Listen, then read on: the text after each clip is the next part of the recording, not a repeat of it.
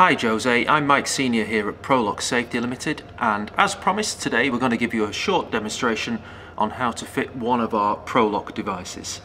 You'll notice here we have our demonstration gate valve and we're going to be securing it to this yellow bollard fixing point here.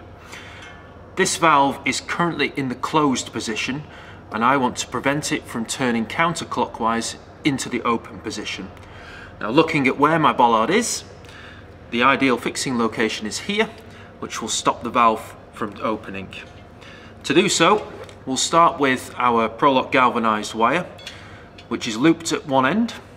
We simply pass this through the handle of the valve like so, and then back through the loop like this, and pull it tight. Nice and tight there onto the valve. And as you can see, by me pulling that, that valve would not open if it was secured properly we simply pass this wire around the fixing point like so. Once or twice is fine.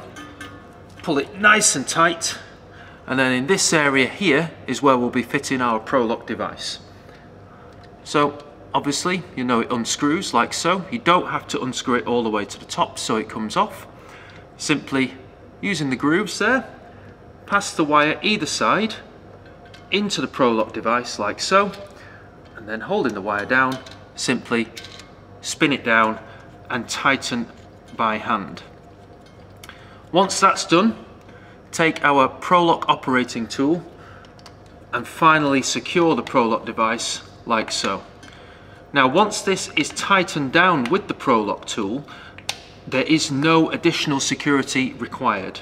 You don't have to fit a padlock or a security seal or a cable seal. That is secure and can only be undone using the Prolock tool.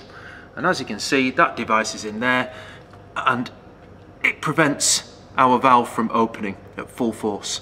If you wish, you can fit a padlock or security seal, up to six. There are six holes available for evidence of tamper or to see which engineer is working on a particular isolation. I hope this has been useful for you and thank you very much for watching.